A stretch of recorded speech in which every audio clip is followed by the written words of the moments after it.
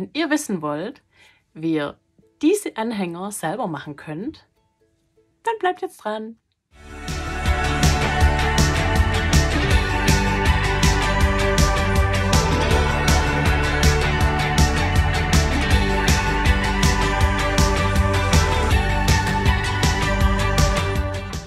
Herzlich willkommen in meiner Kreativmanufaktur. Ich bin's wieder, Sonja, und ich freue mich, dass ihr wieder mit dabei seid. So, es ist schon wieder Ostern.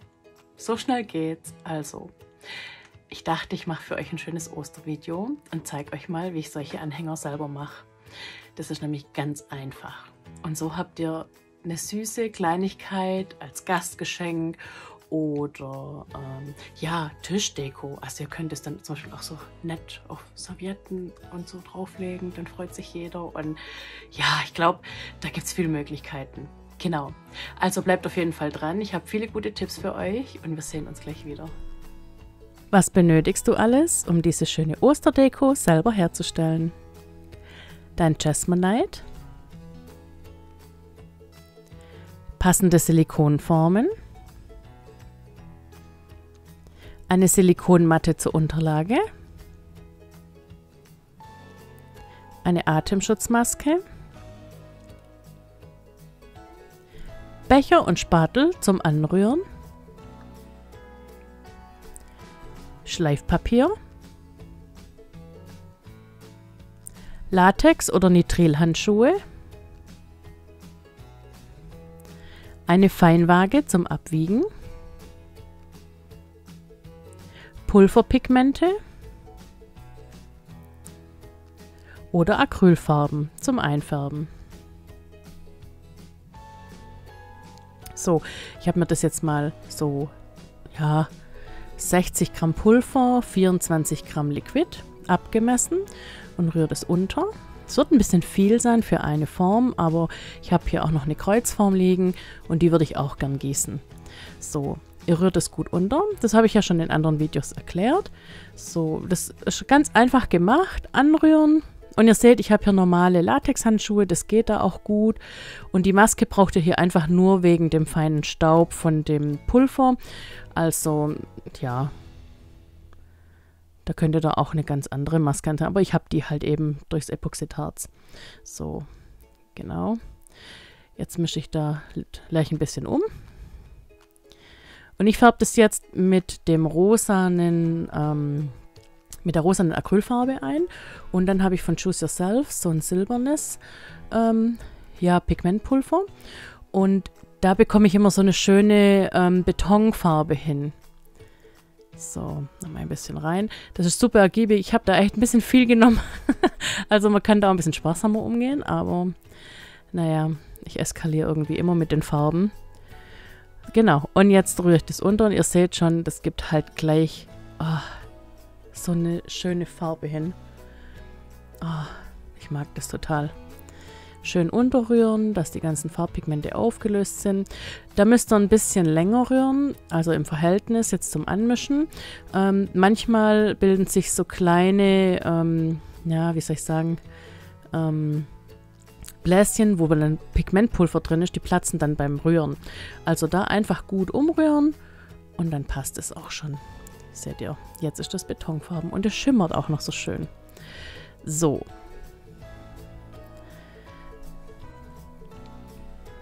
So, genau.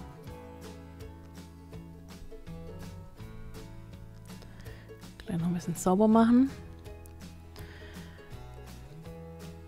Gut. Dann schüttel ich die Acrylfarbe und mache da einfach einen kleinen Klecks voll rein. Das ist natürlich der Vorteil, weil Jasmonite eben mit Farben auf Wasserbasis kein Problem hat. Und dann kann man das auch so einfärben. So, das sind auch die gleichen Farben, die ich zum Dot Painting nehme. Also guckt euch mal die Farbe an. Boah, das ist voll cool. Und ich zeige euch da jetzt, wie ich eins gemacht habe und ich habe dann noch ein paar weitere gemacht und da zeige ich euch lediglich noch das Ausformen. Also ich habe die nach demselben Prinzip gemacht und ja, ihr seht ja dann die Ergebnisse. So, ich mache da nicht alles rein. So. Ein bisschen verteilen. Ja, man muss ein bisschen zügig arbeiten da. Das ist, ähm, das wisst ihr ja, das zieht relativ schnell an. So, und jetzt kommt das Rosa.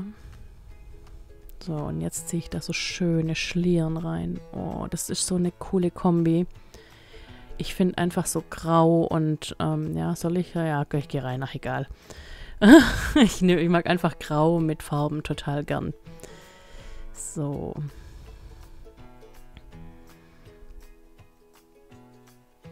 Genau, schön vermischen. So, noch ein bisschen.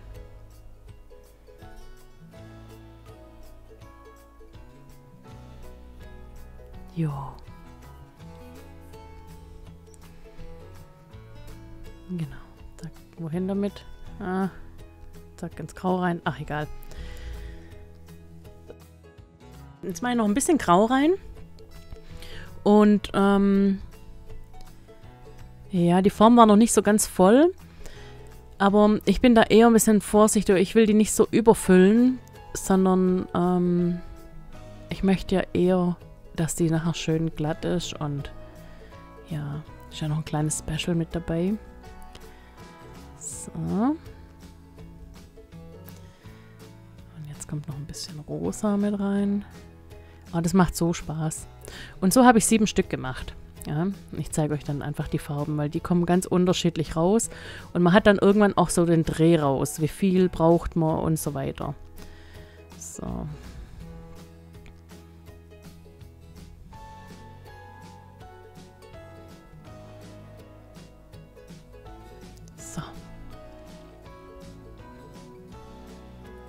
Genau, klopfen, dass die äh, Luftblasen rausgehen.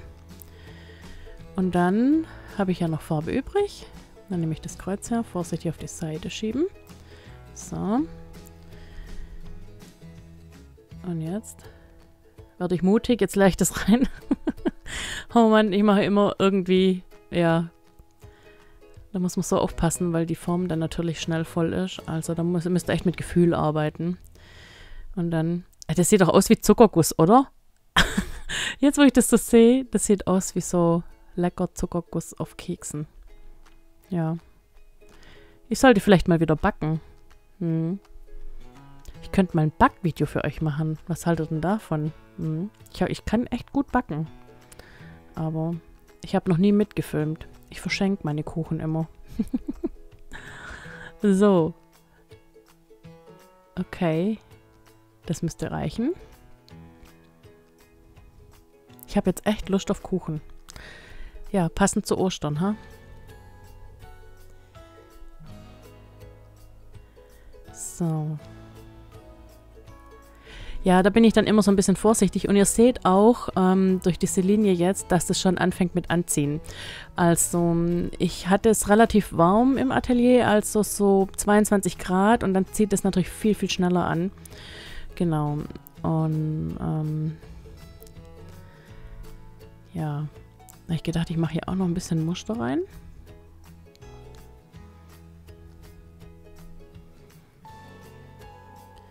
Ja, das sieht doch ganz cool aus.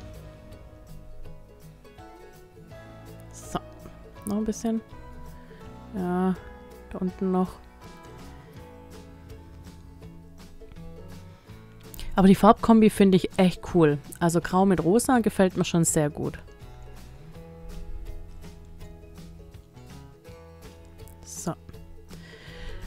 Okay, jetzt hoffen wir mal, dass es fest ist. Ja, das sieht gut aus. Vorsichtig lösen. Und... Ah, prima, ging schon raus. Oh ja, das ist schön geworden. Ah, da hinten hat man es jetzt nicht so gesehen. Ja, da muss ich ein bisschen gucken. Mache ich gerade die Ränder, breche ich so ein bisschen noch ab, solange es weich ist. Also, ja, da hätte ich noch ein bisschen besser rühren können. So auf der Rückseite ist nicht ganz so durchgekommen. Ah ja, probiere ich beim nächsten. So, jetzt mache ich das auch. Oh nein. Oh Oh, es ist gebrochen. Oh, da hätte ich noch warten müssen. Oh, das ist eigentlich schon fest, aber das war noch nicht fest genug. Okay, meine Ungeduld.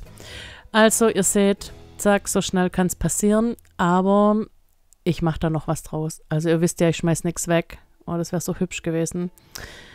Mal schauen, vielleicht kann ich es auch flicken. So, dann habe ich das Ganze mit Orange gemacht. Da habe ich ein bisschen viel Orange reingemacht, aber ich zeige euch das nachher nochmal. Das wird ja noch angeschliffen. Also, ja. Und wie sieht das aus? Ja. Dann habe ich es noch mit Gelb gemacht. Und da habe ich auch wieder ein Kreuz gemacht und habe tatsächlich länger gewartet. Das sieht eigentlich auch ganz cool aus, oder? Was sagt denn ihr? Wobei mir das erste im Moment noch am besten gefällt. Ja, geht's raus, ja. Da ist auch die Rückseite. Aber die war schon besser. So. Und jetzt das Kreuz. Oh Gott. Wenn einmal was gebrochen ist, geht's euch auch so. Oh, ich hab dann so Schiss, dass das wieder bricht. Aber ich habe länger gewartet, also.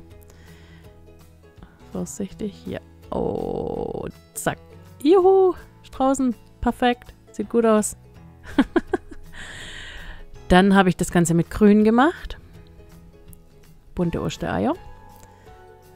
Immer mit derselben Technik. Ja. Oh, ich muss ein bisschen besser rühren. Dann mit Blau. Und da habe ich jetzt mal mutiger gerührt. Also mal schauen, ob das jetzt besser geworden ist. Ja, schaut. Ja, so habe ich es mir vorgestellt. Okay, also das hat gut funktioniert. Voll cool. Jetzt habe ich das Ganze noch mit Türkis gemacht. Und ihr seht, auch vorne ist es ein bisschen wilder geworden. Jetzt hoffen wir, dass die Rückseite... Ja, boah, schaut euch mal die Maserung an. Das sieht doch super aus. Ja, bin ich echt begeistert. Und wieder ein Kreuz. Oh. Erst die Kanten vorsichtig lösen. Ah ja, das kommt schon von ganz alleine raus. Ja. Oh, das ist auch toll geworden. Hey, guckt euch mal das an. Ja, das gefällt mir voll gut. Oh. Ja. Und jetzt noch eins in so Purple-Farben. Oh ja, das ist auch cool. Ja, voll schön. Und auch noch mal ein Kreuz. Äh, da habe ich ein bisschen zu viel reingegossen. Ja, schön. Und jetzt kommt so ein kleines Special. Ich habe ja einen Plotter seit ein paar Tagen und habe mir überlegt, ich mache für die Farben dazu noch einen Hase drauf. Ich mache da noch ein genaueres Video dazu, wie das alles funktioniert und so weiter und so fort, was ihr für Folien nehmen könnt, was ihr damit machen könnt. Kommt noch ein Video, aber jetzt mal im Schnelldurchlauf. Genau. Dann habe ich die getrockneten Ostereier angeschliffen. Einfach die obere Seite ein bisschen ähm, angeschliffen, weil die waren ein bisschen dunkler wie die untere Seite. Dann nutze ich meine Standbohrmaschine und habe da so ein Pad drauf und dann ähm, ohne Druck einfach nur, ja, so, dass es eben schön glatt wird, die Fläche. Und dass eben die Ränder, also auch das Material, ähm, das schrumpft auch so ein bisschen zusammen beim, beim Trocknen oder beim Härten. Und ähm, das habe ich eben plan geschliffen und dann sind die Farben auch richtig schön rausgekommen. Ja? Also das könnt ihr aber auch von Hand machen. Also ich habe es bisher immer quasi von Hand gemacht und ähm, heute habe ich mir überlegt, ich probiere das mal, ob das funktioniert und es klappt super so. Ähm, ist natürlich toll, wenn man da beide Hände nutzen kann. Zieht da auf jeden Fall Handschuhe da dazu an, gell? weil wenn ihr dieses Schleifpad mal auf die Finger bekommt, ja, das spürt man dann. Also, ich habe immer Handschuhe. Ich habe mehrere Handschuhe in Gebrauch, so verschiedene auch. Also das sind jetzt keine speziellen Schnittschutzhandschuhe, aber das sind halt Schutzhandschuhe. Und ähm, ja, wenn ich mit dem Schleifbandgerät, also mit der Bandschleifmaschine arbeite, dann habe ich äh, Schnittschutzhandschuhe an.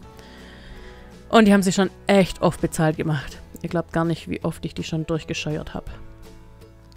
Also, Safety first. Ja.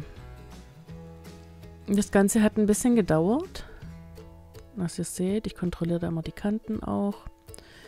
Und entkradert es so ein bisschen. Da geht er ein bisschen mit Gefühl dran. Ja? Also, wenn ihr sowas daheim habt. Ihr könnt auch mal, also viele Verwandte oder so von früher haben so eine Maschine noch. Also die ist schon recht alt, aber die funktioniert. Und das sind mir immer die liebsten Geräte irgendwie.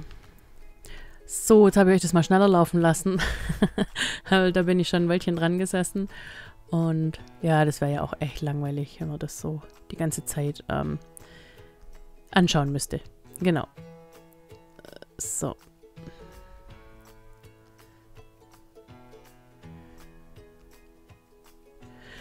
Die Bohrmaschine wird noch festgeschraubt. Wir haben erstmal gucken müssen, ob der Platz so passt. So, und jetzt zeige ich euch mal, wie ich diese Aufkleber drauf mache. Also ich habe jetzt hier quasi diese Folie drüber, die Transferfolie. Ähm, dann löse ich das Eck ab. So, genau. Ich staub erstmal das Ei ab. Das sollte sauber sein.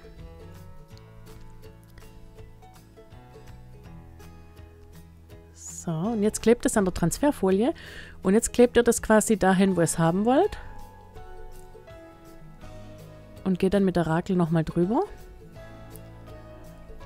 So, und das war natürlich jetzt auch erstmal ein Versuch. Ich habe gar nicht gewusst, ob das auf dem Jasmonite gut hebt oder wie das ist. Und ähm, ja, ihr müsst natürlich die Kanten super sauber hinkleben. Also ihr seht gleich, ich habe jetzt zum Beispiel das eine Ohr von dem Hase nicht richtig festgeragelt. Dann bleibt es an der Folie hängen. So. Ah ne, da ging es. Genau, habe ich es festgehalten. Ähm, ach nee, das Burstelschwänzchen habe ich nicht richtig hingemacht. Guckt. muss man nochmal drüber gehen und dann hebt es. Und dann ähm, am besten von der anderen Seite noch abziehen. So. Und dann geht es. So. Und schon ist das erste Osterei fertig. Was sagt er dazu? Ich habe es euch gleich auch nochmal abfotografiert natürlich. So. Und auch das lasse ich euch jetzt ein bisschen schneller laufen. Weil das Prinzip ist natürlich dasselbe. Gell? Und ich habe mich jetzt dazu entschieden, dass ich immer die passende Farbe auf das Ei so mit drauf mache. Also rosa zu rosa, gelb zu gelb und so weiter. Aber man hätte das natürlich auch kunterbunt machen können. Gell? Und man sieht natürlich jetzt durch diese Blüten, wo der Hase quasi so am Körper hat, sieht man natürlich den Hintergrund von den Marmorierten durch. Und dann hatte ich beim Entgittern ein paar Blümchen auf die Seite getan und die klebe ich jetzt da hinten noch mit drauf. Oh, ich finde das so süß. Man kann das ja irgendwie alles nutzen. Und so sehen sie fertig aus. Und für euch jetzt gleich nochmal einzeln.